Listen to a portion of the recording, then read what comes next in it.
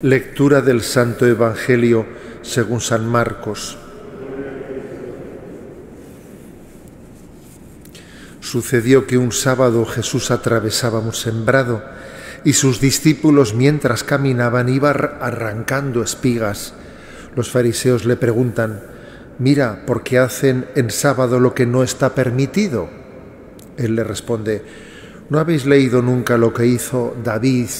Cuando él y sus hombres se vieron faltos y con hambre, como entró en, la casa de Dios en tiempo del sacerdote Abiatar, comió de los panes de la proposición, que sólo está permitido comer a los sacerdotes, y se los dio también a quienes estaban con él.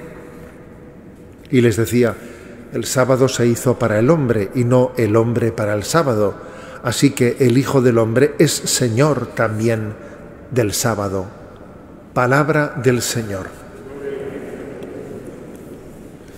La figura de David aparece también en este Evangelio de, Marcos a propósito de esa diatriba sobre el sábado.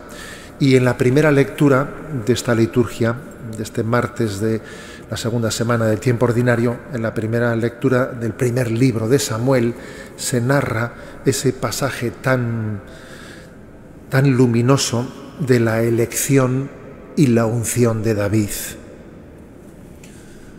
el profeta Samuel es enviado por Dios a Belén y es la familia de Jesé la que tiene que ser la elegida para elegir entre, entre sus hijos a quien será rey de Israel.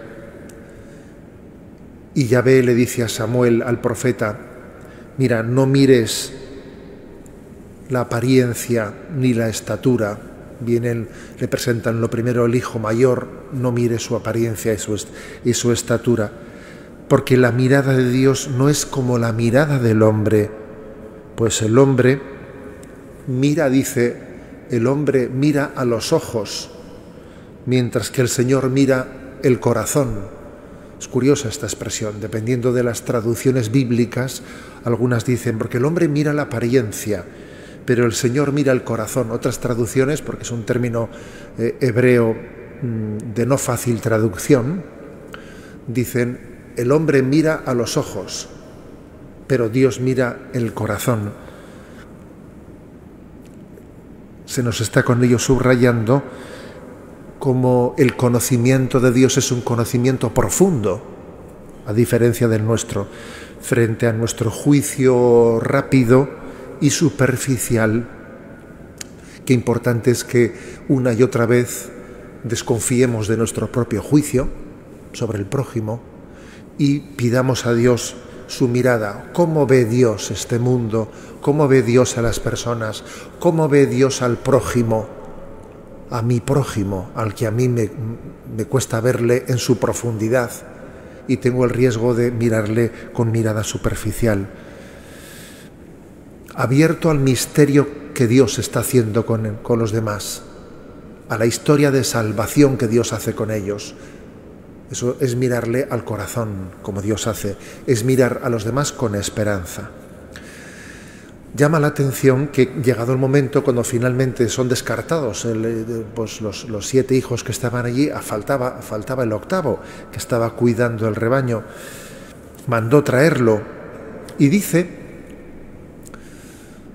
después de haber dicho, después de haber subrayado, no, no mires la apariencia ni su estatura, ¿eh? haber rechazado esa apariencia, eh, parecería que el elegido iba a ser alguien pues de una apariencia más bien rechazable, ¿no?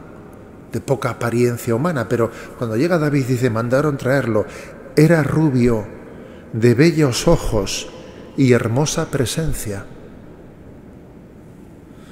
Es decir, la elección de Dios no está supeditada a la perfección del hombre, ciertamente, pero cuando Dios elige al hombre, cuando Dios unge al hombre, cuando Dios nos consagra, en su elección nos da belleza, en su elección nos santifica, nos transforma.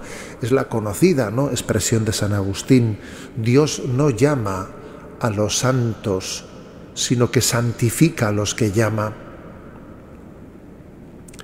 Y esta manera de elegir de Dios a David es para nosotros no pues esperanzadora. Nos llena de esperanza. Nos enseña a mirar, a mirar el mundo y además de enseñarnos a mirar el mundo nos da la esperanza de que en la llamada que hemos recibido de Dios también está implícita en su en su llamada, en esa vocación, la semilla, el don de la santidad.